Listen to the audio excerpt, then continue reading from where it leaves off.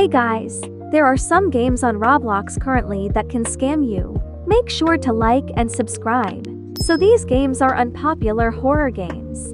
They let you load into the game and then you will get a pop-up, which states that the game has been paused. Behind it you will see another pop-up but you can't read what it says, and the game will encourage you to click on the green button. But if you click on the green button you are basically agreeing to make a purchase for something in-game, which will use your Robux. These games are currently unknown and I have only seen a few different tweets and videos about it. So when playing unpopular games on Roblox, be very careful with what you click on, as once you have accepted the purchase, you won't be able to cancel it, or even get a refund, so just be aware of what you are clicking on, as you don't want to fall for this scam. See you soon, bye.